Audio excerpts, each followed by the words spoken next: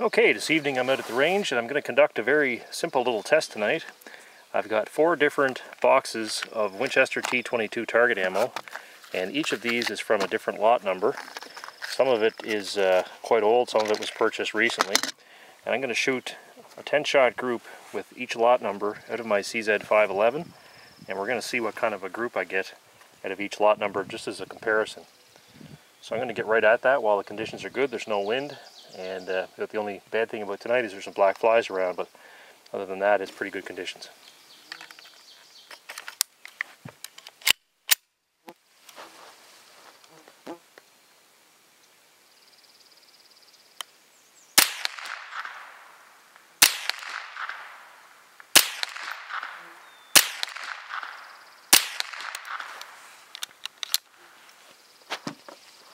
Okay, get the barrel warmed up. Shots first.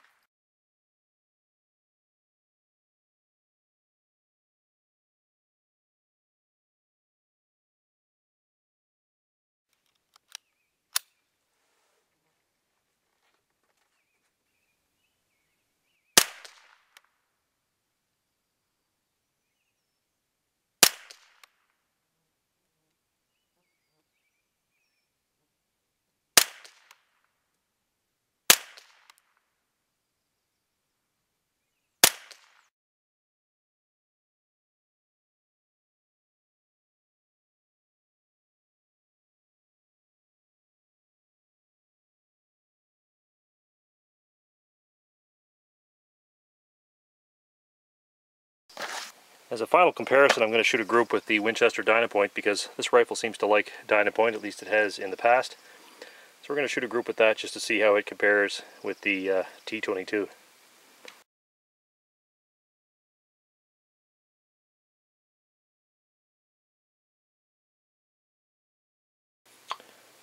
Well, we're back from the range and shot uh, four different groups with the Winchester T22, four different lot numbers. And I figured it would be a little easier to review the targets here, where there's a, good source of light, there's no wind, and there's no bugs. So first off, we're going to have a look at the group I shot with this particular box of ammo.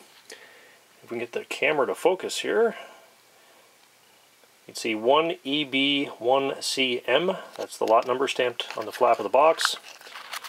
And this is from a, a bunch of ammo that I bought, oh, probably three years ago at uh, a local Walmart. They were closing out this particular T22, so I bought what they had in stock, and maybe that was a mistake because here's the group 10 shots, 50 yards. It's a pretty damn huge group.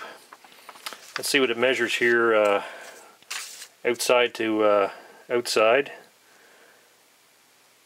It's about uh, 3 and 5 eighths, I would say, thereabouts extreme spread between those two shots there. So that's that's rather poor performance by uh, any standard because the uh, rifle I'm firing out of is, uh, is a pretty accurate rifle for the most part if you feed it decent ammo. We'll move on to uh, the next group of uh, rounds that I fired here and we'll see if we can read the lot number off that box and that is 1EB11M. And this is some stuff that I bought just the other day at my local Canadian Tire store. Once again, it was on clearance. They had uh, about a half dozen boxes, and I thought, ah, what the heck, I'll try a few more of these and see if they're any better than the last time around. They were cheap. Um, here's the group. Once again, not really what you call a great group. We've got a fairly big extreme spread there between those those two, and it's looking like about three three and three eighths thereabouts between those outside outside two shots. Okay, we got our third lot of T22 and this one here is 2RA72N and that was purchased at uh, another local store, a home hardware store for $2.79. I bought that a few years ago. I guess I just wanted to try a box of T22 again to see if it was any better. And there's a 10 shot group at 50 yards with uh, that particular box of ammo. It's a little bit better. We've got an extreme spread at 50 yards of about two and a half inches. Still, still nothing to write home about by any means. And we're going to move on to our very last group, fired with, uh, you can tell this is not a Winchester box, this is actually an old uh, Imperial Dominion plastic box. This is a bunch of Winchester T22 that I got probably 20 years ago, and it was packed bulk, but it was marked T22. And uh, I have no idea what the lot number is, but I do know that when I got it, I repackaged it into different boxes and labeled it, so it looks exactly, I got a couple of rounds of it left, it's, uh, it looks exactly like every other type of T22 going. Got the cantilever there in the case, we got the uh, plain lead bullet, Anyway, this stuff uh, is far, far better. And here's the 10 shot group fired with it at 50 yards once again. And we look at the outside uh, between those two furthest holes, it's about an inch and a half. So that's far better. That old stuff was far better. And you'll also notice that there's some uh, some goo on here. And that's actually, if you've seen the last video I posted, that's actually uh, the target that the fly was on when I hit the fly. There's actually a fly walked across his target, and he was a very unlucky fly. He got splatted with some uh, with a 22 bullet. So there you go. There's there's extra evidence that I got the fly. He's, his guts are on the target. Anyway, to put all this in comparison into perspective, uh, I'm going to show you a couple other targets that I shot while I was out there. And just to show you what the rifle will do, here's some uh, Winchester Dynapoint. It's not expensive ammo, it's fairly, fairly cheap, but it always seems to shoot well in that uh, CZ511. There's a group, 10 shot group with that Dynapoint. And you know, you're looking at uh, you know, an inch and 7 eighths thereabouts for 10 shots with the Dynapoint. They don't make out that that's supposed to be target ammo by any means. And last but not least, Here's a group that was a 10 shot group with CCI Blazer. This is the uh, Blazer that's actually made by CCI, not the federal stuff. And it shot a group of only about an inch and oh, inch and three eighths probably for 10 shots, outside edges to of each hole.